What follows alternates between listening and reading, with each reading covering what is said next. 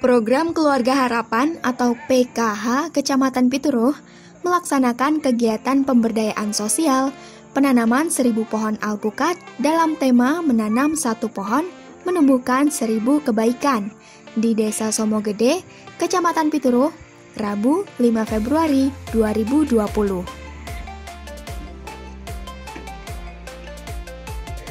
Penanaman pohon alpukat bisa menjadi stimulan Pohon ditanam di lingkungannya masing-masing, kemudian tumbuh menjadi besar, yang nantinya bermanfaat untuk penghijauan dan ketika sudah berbuah bisa menjadi salah satu penghasilan tambahan. Serta perekonomian warga khususnya penerima PKH di Desa Somogede ini dapat meningkat. Melalui penanaman ini, nantinya bisa meningkatkan produktivitas di bidang pertanian, supaya masyarakat berdaya mempunyai usaha untuk meningkatkan perekonomian. Arif Rohman Muiz, SEMM, Koordinator PKH Wilayah 2, Provinsi Jawa Tengah, mengatakan bahwa dengan adanya penanaman seribu pohon alpukat ini akan mendorong masyarakat untuk mengembangkan pohon alpukat di Desa Somogede. Untuk menurunkan angka kemiskinan, diperlukan sinergitas dari berbagai pihak, terutama antar pemerintah desa, kecamatan, bahkan kabupaten.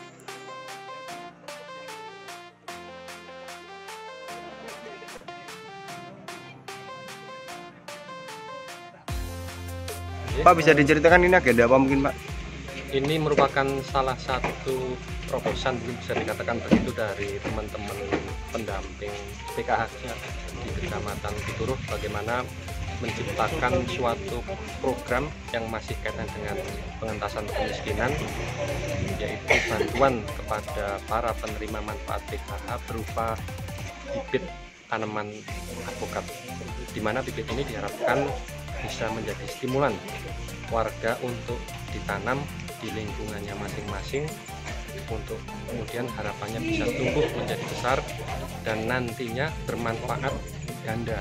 Untuk penghijauan dan juga ketika sudah berbuah ini bisa menjadi salah satu alternatif tambahan penghasilan untuk PKH sehingga diharapkan nantinya kalau mungkin sudah bisa dalam kuantitas yang banyak ini bisa meningkatkan penghasilan daripada warga khususnya para penerima manfaat PKH.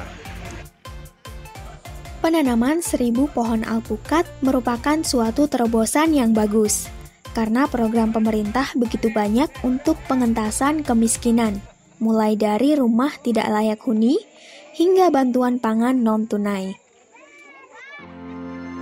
Dari Somo Gede, Pituruh News, Purnomo melaporkan.